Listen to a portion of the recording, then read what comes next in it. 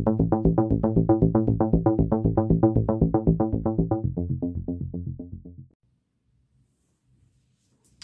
guys, welcome back to my channel. Today I'm going to be reviewing Prey. This is the Predator spinoff that's uh, streaming exclusively on Hulu. Uh, so I just got watching the movie. It stars uh, Amber uh, Midthunder as a girl named Naru. Now this takes place in the 17, 1719 on the High Plains. So she's a she's a Comanche woman uh, living, you know, traditional lifestyle back then of, of the Comanche. Um, and she's uh, she's like a budding warrior. She wants to be a warrior, but of course, in this society, they expect women to do a traditional role. But she's kind of rebelling against that. She wants to, you know, join the men on the hunt.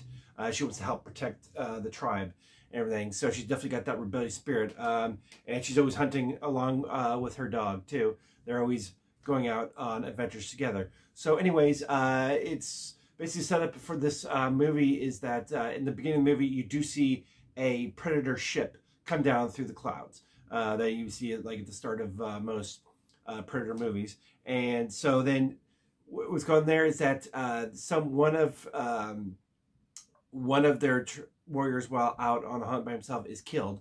Now they think that now everybody in the tribe thinks the fellow warriors think that oh this is a bear or a mountain lion or something like that did that. But she's like, no, no, no, because she sees clues that, you know, she sees like a skin uh, snake that was skinned.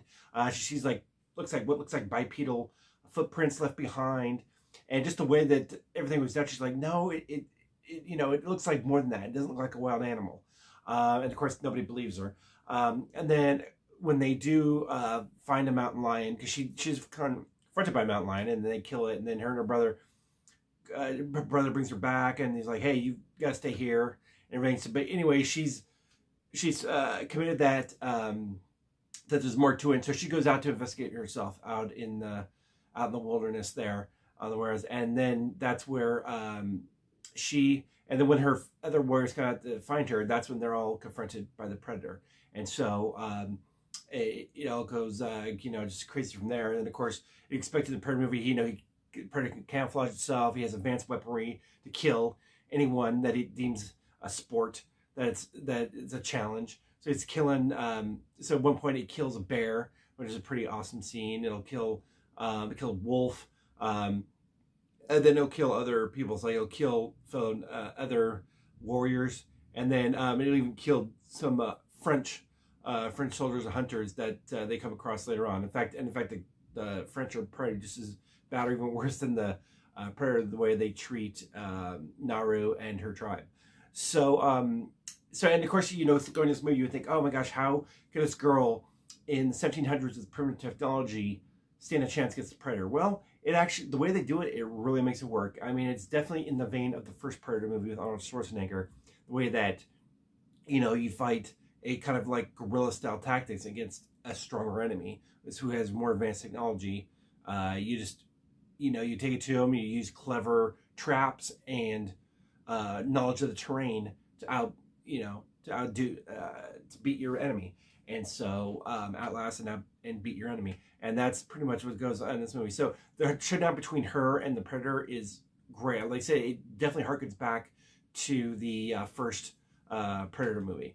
Uh, so I think to me, this it was definitely the best movie since that first Predator movie definitely reminds me in so much. I mean, personally, I think this is what the Predator franchise should have been this entire time. Instead of like, um, I mean, Predator 2 was okay. and Alien vs. Predator ones, they were, uh, yeah, they were just, they're kind of slob for what they were. Um, and then, of course, you had the Predators movie, which was okay. Uh, with Adrien Brody, that was that was an okay movie, but then the new that new Shane Black one was was pretty bad. That was god awful. So I think this is what the Predator movie should have been all the time. They should have just go back and show the predators because they had hinted that in previous predator movies that um, the predators have been coming to, been coming to Earth for centuries. Um, and the, I mean, they hinted that in Predator too. So I think this is what they should have been doing this entire time is having showing the predator coming back during different times in human history in different countries or wherever, and showing how the uh, a local warrior in whatever wherever it is, you know, manages manages to survive fight back against the predator, who has much. Uh, he's got the advantage of being uh, cloaking itself invisible and with much just much superior technology and killing power. So I like I said, I, I love this movie. I, I really enjoyed Amber Midthunder. Uh, I think she, I think she'll be a star. She was such she was so believable in this role. Um, she's such a good actress. She believed her pathos, um, and she just came off as such a badass. And you thought, like, yeah, if anyone can take down a predator in this period of time, it's her. Like, she was very believable. So I was very much engaged in her story. Um, I said, I, I, think she she's definitely gonna get roles from this movie now, um, and I think she's gonna be a big star in Hollywood, my opinion. But um, I said I really enjoyed this movie, so I highly recommend uh, if you have uh, Hulu. Uh, definitely check it out. I mean, this is what like my like I said, this is what the Predator movie should have been, and it's a great reinvention slash reboot of um, of the uh, Predator franchise. Um, so hopefully they can do more ideas like this. In fact, I've, I've already heard people say they're like, oh, they want a Predator movie now set in uh, feudal Japan, which I think too. I think that'd be great. That'd be I'd watch that in a heartbeat. that'd be awesome. And other deals like that. So hopefully they they they continue to do that and put like just set the Predator in different periods of history in different parts of the world. Uh, I think that would be awesome. So, anyways, that's um, so check it out. And I said, that's my review of Prey on Hulu. Have you seen it yet? And comment below if you've seen it and what you thought. Uh, once again, thank you for uh, tuning in, everyone. And please like, share, and subscribe. And I will talk to you later.